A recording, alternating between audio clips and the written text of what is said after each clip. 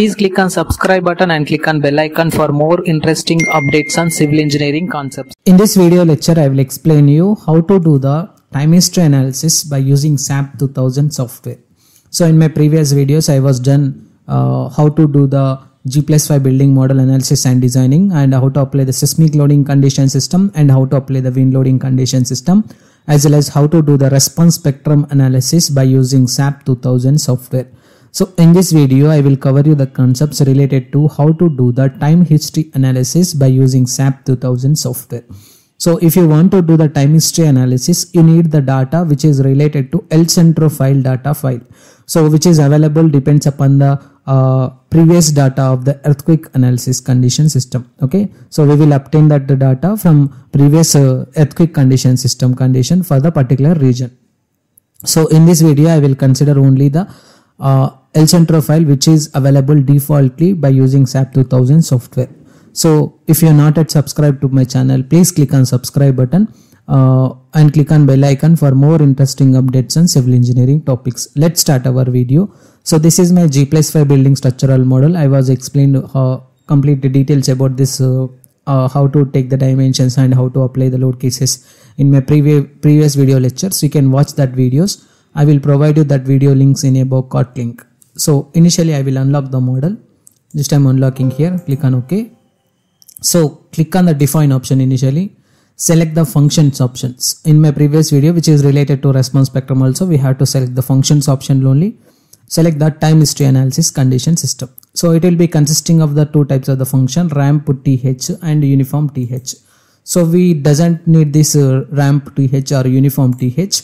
We have to delete these files initially. Just I'm selecting delete option. So after this we have to choose the function type to add. You can choose the function type to add from a cosine function or function from file, match it to response spectrum, ramp file or sum file, okay, sine file, triangular file, user, user, periodic. But as per uh, uh, accurate results we have to select that from file only and we have to select the new add function type add a new function type so firstly we have to give the function name just I'm giving the function name is time history analysis THA in my previous video of the response spectrum analysis I was given the function name is RSA in the same process here also we have to give the function name is THA and we have to select the function file so which is available as El Centro file data defaultly in the program. Select the browse option here.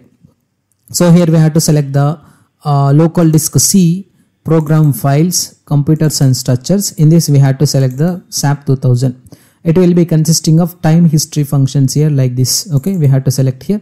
It will be consisting of some uh, functions here like this which is related to these uh, options. It will be consisting of some other functions like uh, some n or symbols and some functions here dot th files here but from this file we need to select the only the El Centro file data which is related to file option here which is comes under the El Centro file data here like this.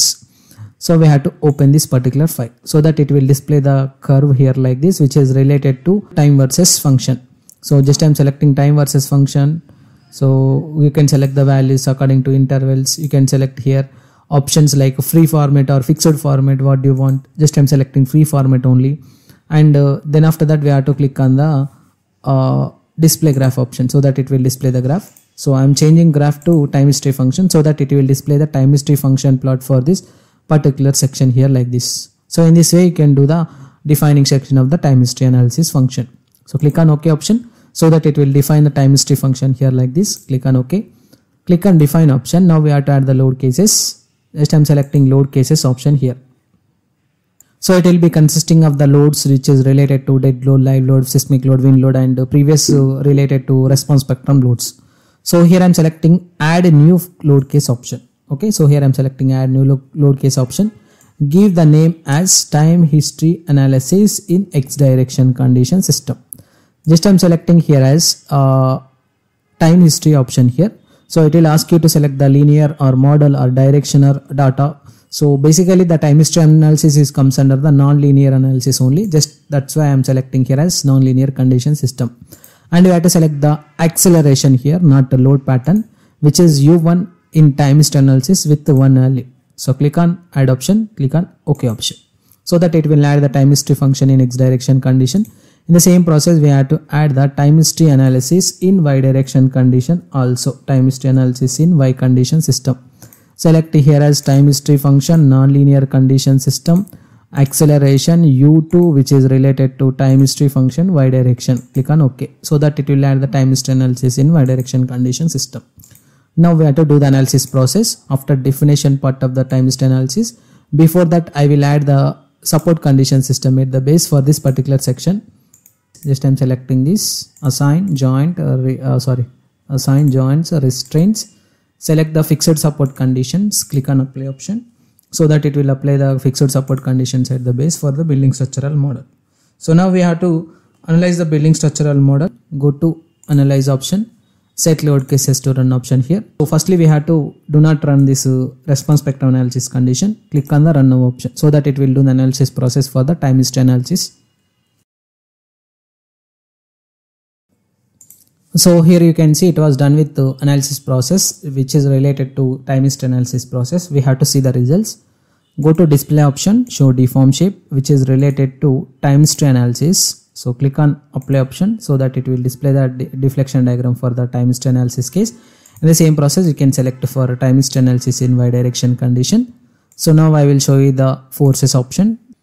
Select the frame of force. So select shear to 2 option click on apply option so that it will display the shear force diagram for the model option. In the same process you can select here as time history analysis condition system. Click on apply so that it will display the time history analysis results for this. Now we have to load the tables which is related to time history. Go to display option show tables option. Select here as THA click on ok option.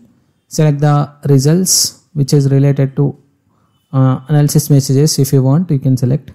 That is not important one displacement option frame output element forces select object. Again in the same process we have to select the base reactions model time period uh, values here. Click on ok option so that it will display the uh, values which is related to response spectrum analysis condition system. Okay so base reaction value this is the base reaction value which is related to time history analysis. This is the force value which is related to time history analysis condition joint displacement value. So now we have to see the uh, curve which is related to time history. Go to display option. So click on the show plots functions option here. So you can select the defined functions here. Here we have to define the function plots initially. Just i'm selecting here as uh, Bayesian functions. Click on add plot functions. So it will ask you to select these uh, Bayesian values. So here i'm selecting this Bayesian x y z condition system. Click on ok. So we have to deselect this uh, input click on ok. So we have to all, add all these condition systems. Click on display option so that it will display the time history analysis plot for the building structural model. So this is the complete process of uh, analysis of time history analysis of building g plus 5 building by using SAP 2000 software. If you have any queries about this video please try to text me your questions in the below comment box so that i will give you the answer for that question if you are not yet subscribed to my channel please click on subscribe button and click on bell icon for more interesting updates. Thank you